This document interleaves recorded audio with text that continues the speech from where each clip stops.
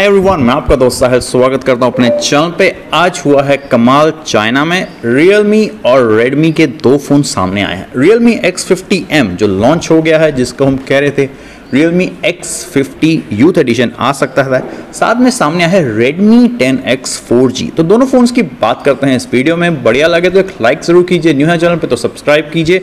तो शुरू करते हैं आज की वीडियो पहले हम बात कर लेते हैं रियल Realme X50M की। ये फ़ोन बिल्कुल सिमिलर लगेगा आपको रियल Realme X50 की तरह, मगर थोड़ा सा डाउनग्रेडेड करके सस्ता लॉन्च किया है।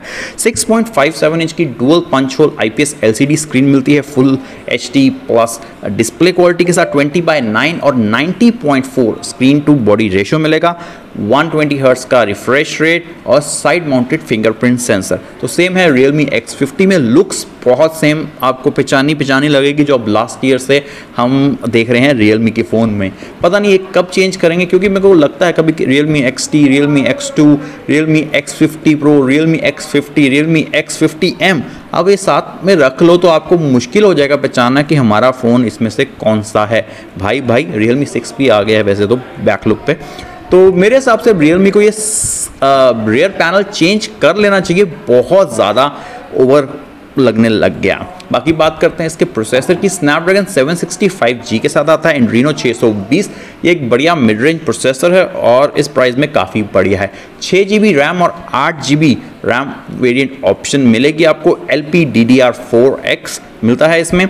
और जो स्टोरेज है वो सिर्फ़ 128 जीबी की मिलेगी U F S two point one के साथ। कैमरे की बात की जाए तो 48 मेगापिक्सल का मेन कैमरा है जो Samsung G W G W one वाले सेंसर के साथ आता है F one point eight aperture six P lens मिलता है आठ मेगापिक्सल का अल्ट्रा वाइड एंगल और दो मेगापिक्सल मैक्रो और दो मेगापिक्सल का डेप्थ सेंसर फ्रंट कैमरे की बात कीजिए तो वो मिलता है सोलह मेगापिक्सल प्लस दो मेगापिक्सल सोलह megapixel I M X Sony I M X four seventy one के साथ दिया गया है। बाकी चार हज़ार दो सौ एम एच की बैटरी मिलेगी। प्लस थर्टी वोट का चार्जर मिलेगा। तो प्राइस इसकी रखी है छः जी बी एक सौ अट्ठाईस जी बी की, दो हज़ार युवान जो इक्कीस हज़ार के पास पड़ता है और आठ जी बी की बनती है नहीं तेईस सौ युवान जो बनता है, पच्चीस हज़ार।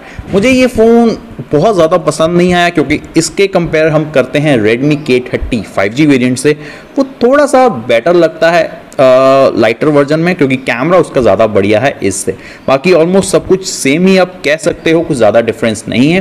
बाकी इंडिया में आने के चांसेस मुझे लग रहा है स्नैपड्रैगन 765G इंडिया में जल्दी आएगा। बाकी देखते हैं ये Realme X3 बन के आता है या नहीं आता। काफ़ी लोगों को Realme X3 में उम्मीद है एमोलेट स्क्रीन की। मगर जो हालात चल रहे हैं, मुझे लगता है आई पी ही आएगी। दूसरे फ़ोन की बात करते हैं, Redmi की, Redmi 10X 4G जी हाँ ये भी एक नया सामने आया है और हम जिसको कह रहे थे Redmi 9 हो सकता है या Redmi Note 9 चाइना में आएगा 4G वेरिएंट इसकी भी डायमेंशन सामने आ गई है 6.53 इंच की single punch hole IPS LCD screen मिलती है। रियर पैनल में आपको मिलेगा इसका फिंगरप्रिंट सेंसर क्वाड कैमरा आप देख सकते हैं, बिल्कुल रेडमी नोट 9 प्रो और प्रो मैक्स की तरह दिया गया है। इसमें प्रोसेसर एक नया प्रोसेसर है जो हीलियो जी है। ये पहला फ़ोन बन जाएगा इस प्रोसेसर के साथ। कह रहे हैं जी का ओवरक्लॉक वर्जन कह सकते हैं। तो भाई अब नार्जो सीरीज़ आ रही है, उसको टक्कर के लिए कुछ तो लाना था शाओमी ने। तो भाई ये ले आए हैं रियल मी टेन अगर आपको याद होगा, थोड़ी काफ़ी लास्ट मंथ मैंने टेक न्यूज़ में बताया था रेडमी का एक टेन फ़ोन आने वाला है। तो मुझे इतनी जल्दी उम्मीद नहीं थी, बहुत जल्दी आ गया। तो मेरी टेक न्यूज़ भी लीक्स भी मेरे भी सोर्सेज बढ़िया हैं, सच हो जाती हैं। बात करते हैं इसके कैमरे की तो इसमें भी आपको मिलता है 48 मेगापिक्सल का कैमरा और 8 मेगापिक्सल का ultra wide 2 megapixel plus 2 megapixel का मैक्रो और टैप सेंसर 48 मेगापिक्सल का कैमरा मेरे हिसाब से सैमसंग का ही यूज़ किया जाएगा। शायद जी हो सकता है, क्योंकि रेडमी नोट नाइन में वो यूज़ किया गया है। नया सेंसर फ्रंट कैमरा तेरह मेगा का मिलेगा। इसमें आपको मिलेंगे चार जी वेरियंट और छः जी वेरियंट 64 और एक सौ स्टोरेज के साथ। L P D D R four X की ऑप्शन मिल सकती है और U F two point one बात करते हैं इसकी बैटरी की। 5020 हज़ार की बैटरी होगी तो बैटरी काफ़ी बढ़िया और तगड़ी होगी। और अभी रिसेंटली एक मॉडल आया था 22.5 वॉट चार्जर तो वो इसमें चार्जर मिलेगा, जो मुझे काफ़ी बढ़िया लगा। प्राइस की बात की जाए तो कह रहे हैं ये नौ सौ निन्यानवे युआन से शुरू हो सकता है चाइना में।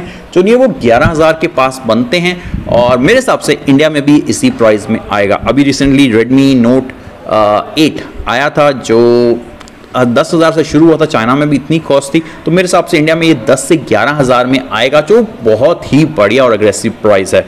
तो भाई, जब भी इंडिया में आएगा, हम इसकी अनबॉक्सिंग तो ज़रूर करेंगे, और Realme X50M की मैं अनबॉक्सिंग नहीं दिखाऊँगा सॉरी फॉर डैट क्योंकि मुझे उसमें कुछ खास नहीं लगा।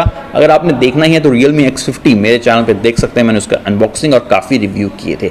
तो आज की वीडियो में बस इतना ही, बढ़िया लगे तो लाइक ज़रूर कीजिए न्यू है चैनल पर तो सब्सक्राइब कीजिए। मिलते हैं अगली वीडियो में, जल्द ही, जय हिंद, वंदे मातरम। See you in next video